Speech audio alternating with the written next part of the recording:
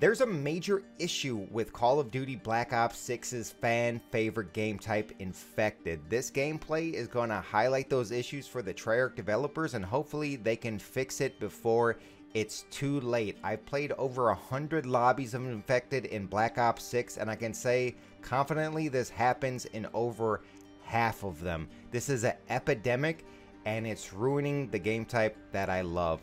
Thankfully for Treyarch, I'm a leading expert in this field ever since I got the world's fastest MOAB in Call of Duty Modern Warfare 3. And even before that, we were playing in 2007 COD 4 private lobbies. It was called Michael Myers, and that's where this game type was inspired from. You're going to see every time I get a kill, we're going to zoom into the kill feed, and people leave and leave and leave and leave. And it's kind of heartbreaking as an infected player because I die multiple times, then I get one kill. Die multiple times, get one kill. And it's a shame because infected players don't get rewarded. You're going to see a total of 10 infections from myself, and I'm at the bottom of the leaderboard. One reason that I think people leave is because they don't get rewarded. So, an easy solution is to increase the amount of XP for each infected kill. I would suggest a scaling system where if you get one kill, you get 100 XP. I don't blame this guy for a rage quitting. That was a pretty nasty tomahawk. And then at your second kill, you get 200. At your third kill, you get 400. Then you get 800. Then you get 1600. Then 3200. Then 6400. Then 12800. And, and so on and so forth. But in its current place, you are just a bot, basically, and you don't get rewarded whatsoever. And there's no punishment for leaving. Back in the day when you left an infected lobby and tried to join again, you got put in the infected spot. So punish these people. They're being spoiled brats. They need to be put on timeout. If you leave an infected lobby, five minute timeout or go back to the same lobby that you left. There needs to be some kind of solution to punish these people. And at the very least, what you could do is when you're about to rage quit, you could put a little message. Are you sure you want to ruin everyone else's experience because you're a spoiled brat? And then like play some eh sound like in Warzone when someone gets eliminated. Do something of that nature to punish these people for leaving because this is not in the spirit of Call of Duty. This is so cringe, these lobbies. I'm telling you, I played more infected lobbies than all the Call of Duty developers combined, I would estimate. And I'm giving this advice for free because I love the game and I know what I'm talking about. I know it's kind of cringe to say I'm a leading expert in the field. I'm not good at many things, but Call of Duty Infected mode, I am good and I have solutions for this and it's easy solutions. It's not game breaking $50,000 to fix it. It's a few lines of code. Just increase the XP for the infected. That's the most simple reason or simple way to do it. Now, one would say they changed something drastically with infected mode where I mean look at this lobby there's 14 people in the lobby out of 24 so 10 people have left after being infected one simple basic solution would be to have the infected get a gun at first, like they did for all of Call of Duty history. Now, I would say they're trying to make infected kind of like the zombie mode, and I really like how they have these AI zombies because infected's the perfect game type to warm up on.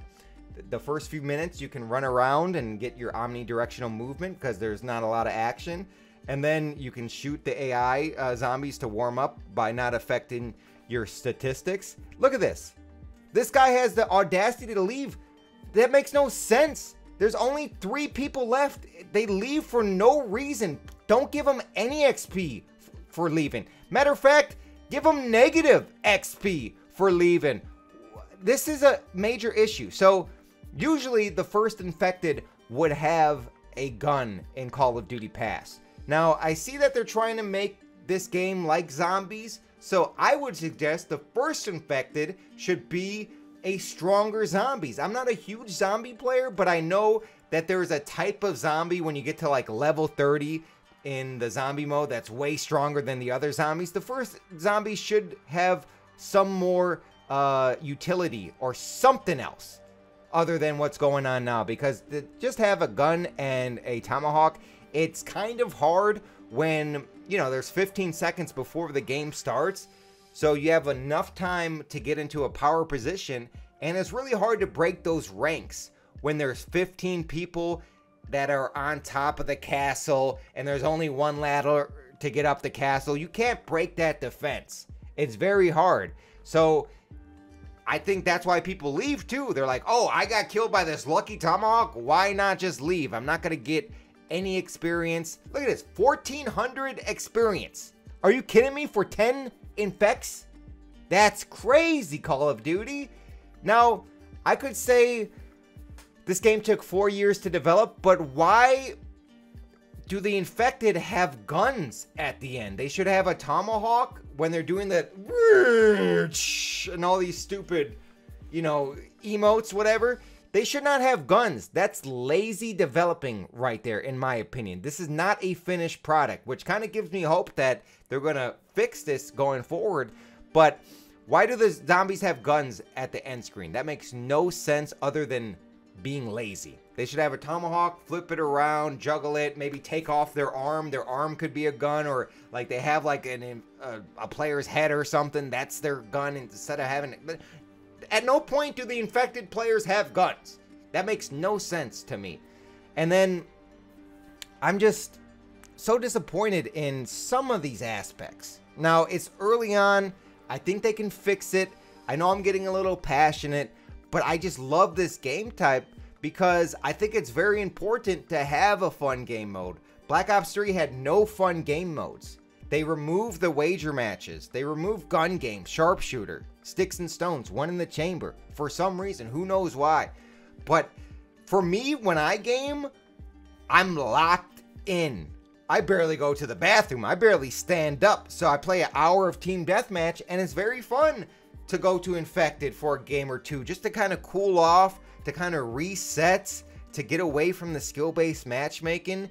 But sometimes in these lobbies, I mean, I showed you that example on Babylon. And the only reason why we won is because I persisted and I got 10 infects personally. I think the other people got like two infects total.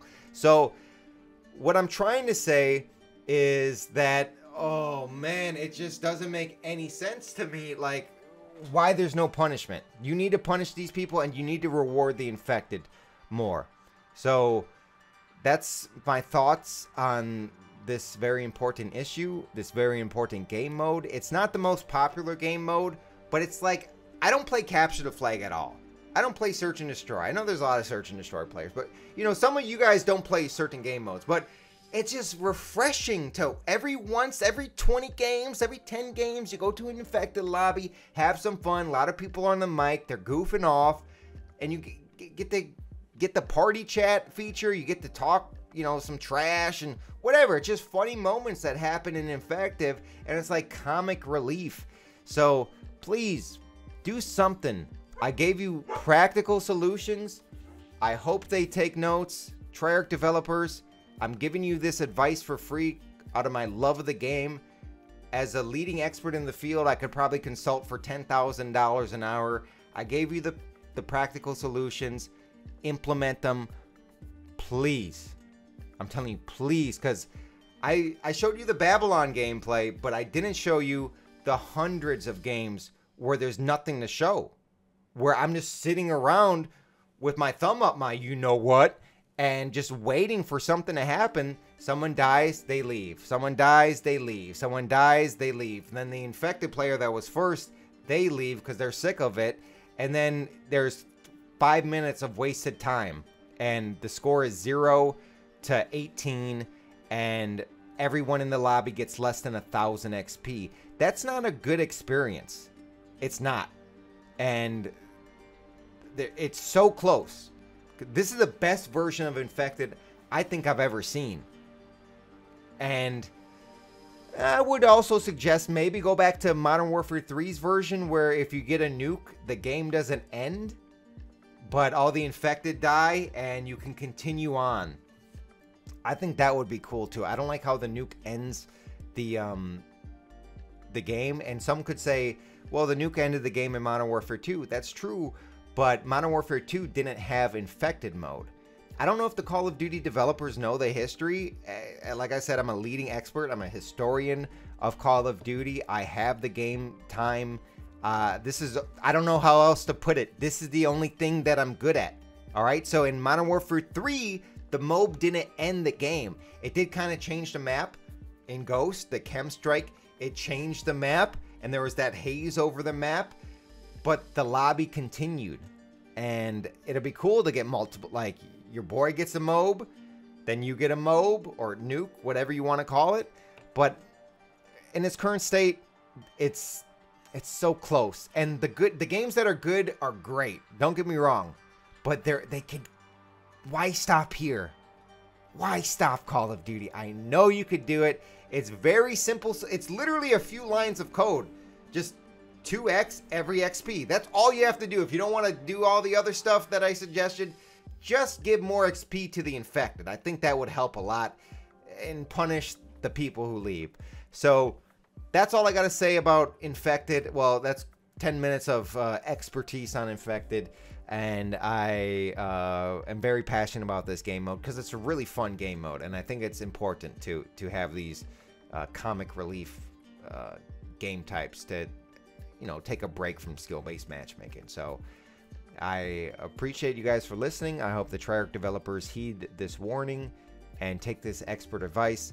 And um, that's your host with the most, White Boy 7th Street. We got the GOAT t shirts back. Link is in the description and I'll see you on my streams where I'm going to be playing Infected. I'm still going to play it because I said this game mode is really, really good when it goes good, but half the time people are spoiled brats and they just leave. So fix this, please.